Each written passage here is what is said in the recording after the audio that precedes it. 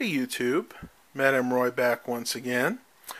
Well, I'm going to take the suggestion of quite a few people um, that had wrote uh, personal messages to me, and what I'm going to do is I'm going to take the CPU and the video card that was in this e-machine, and I'm going to stick them in the Dell. Um, as you can see, I've already removed the motherboard and also the video card. If you look here, I'll try and get as close as I can. You can kind of see these caps have definitely bulged up. And this one here, I don't know if it'll show or not. Right there, you can see the electrolyte has started to come out. So this motherboard is definitely shot, and you can even see these caps have bulged as well. This one has, this one's maybe just slightly. So again, what I'm going to do is I'm going to take that CPU, I'm going to attempt to do this, they should both be compatible, and the video card and install it in here. Um, unfortunately, I can't film that because I don't have the tripod with me, and I need both my hands to do this. So once everything is completed, I will be back with you guys. And I did stop by the local computer shop up here and picked up some of this uh, thermal paste. It's called Arctic Alumina um, I, you know, I like using better quality stuff than this, but when you're up in up in the sticks, this is all you can get. It's Arctic silver. It's actually Arctic silver, which isn't too bad, but you know, I, I, I get mine from our local shop, and it always seems to do well. So hopefully this will be as good as the stuff I usually get. So anyway, I'll be back as soon as I've completed the. All right, and here are the two CPUs when they're out. This is the Sempron one, and again, you guys can pause this if you want to read the information on there. That's the one that I'm going to be replacing with the one that came out of the machines, which is this Athlon. It's definitely going to be a step up, and it was kind of difficult to clean the thermal paste off there. The one from the uh, Dell was really, really caked on. It was old, and you could tell it definitely gotten hot on occasion. Um, the that was this one. The Athlon one was actually pretty good. The thermal paste was still pliable and moist, so I was kind of surprised. So, be back in a few minutes, and everything should be put back together. Okay, we I got it in. I got the dual core CPU in here, and the very last thing I have to do is stick in the video card. Now I took the little bracket off here. I just got to take this little blank piece out. And this I should be able to do one-handed.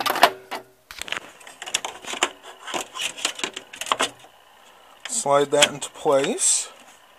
Make sure she's nice and firmly tucked in there. Now, with these style Dells, it's really easy to get to the blanks for the expansion cards. You just have to unscrew this one screw. It goes on, you put it up a little bit high, and it pushes down and actually clamps up here and let me see if I can get this screw in. Put you guys there just for a second. And then the screw just goes right here.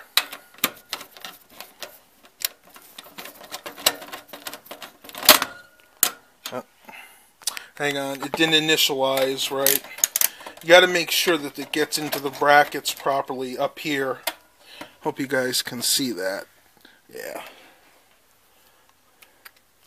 Sometimes if it doesn't sit in there, you just kind of put pressure on the back plate while you're screwing it in. I apologize. I know you guys are having a hard time seeing this. There we go. Now you put the pressure on there. Now that should be nice and tight.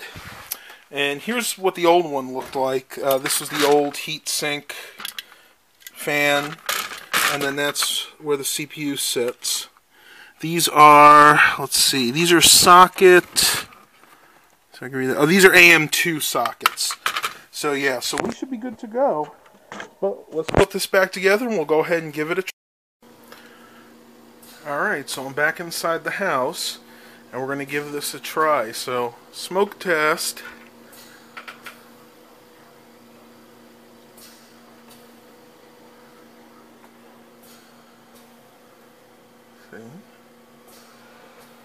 That's a good sign. Oh, something's coming up. See if I can go into the setup. Oop. See if I can get in. Here we go. It was a little too slow there.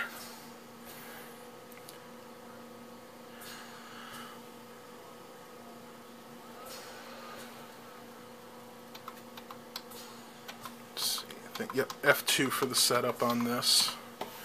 Let's see what it shows. Okay, yeah, it does show it.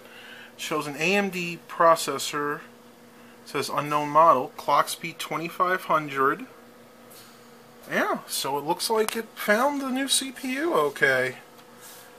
Go ahead and boot it up and see what happens. You can see we got the blue light, which is always a good sign. May have to update the uh, BIOS on this, but we'll see. Yeah, look at that revision. That's version 1.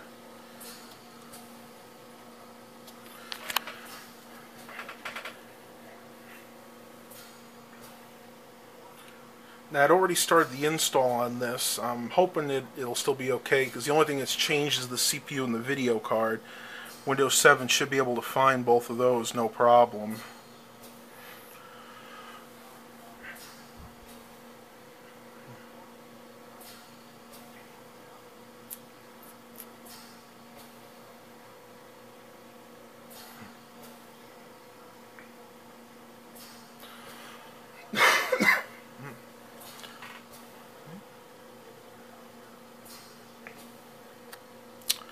Looks like Windows hasn't finished configuring for the last updates.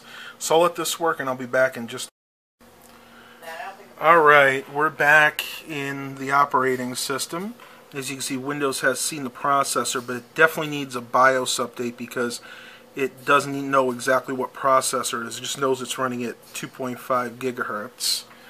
And it's trying to find the video card driver. Looks like it might have just done that, so I got to restart it.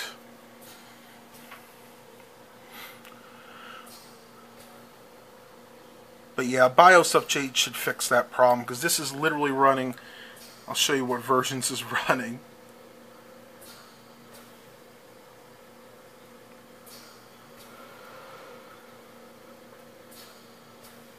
It's running version 1.0.10, which is probably one of the initial releases. And you can hear that the, the computer doesn't kick in right away either. That could also be indicative of a old BIOS.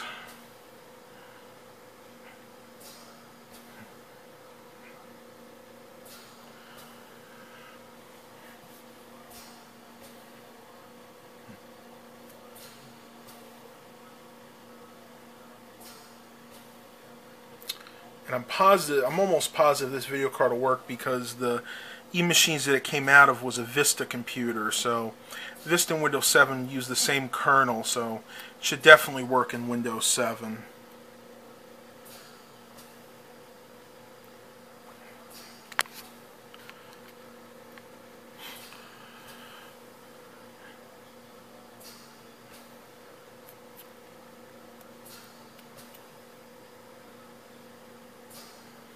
Okay. Looks like it hasn't found the video card drivers yet.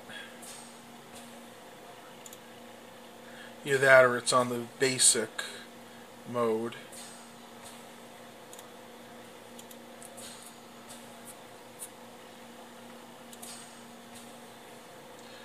Okay, it hasn't found the video card drivers yet.